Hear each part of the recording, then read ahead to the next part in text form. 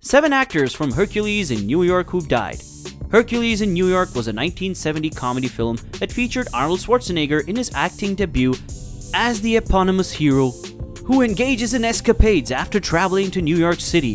The film features Arnold Stang as Pretzie, Arnold Schwarzenegger as Hercules, Deborah Loomis as Helen Camden, James Karen as Professor Camden, Ernest Graves as Zeus, Tanny McDonald as Juno, Michael Lipton as Pluto, Harold Burstein as Rod Nelson, George Bartenieff as Nitro, Rudy Bond as Ship Captain, Dan Hamilton as Mercury, among others.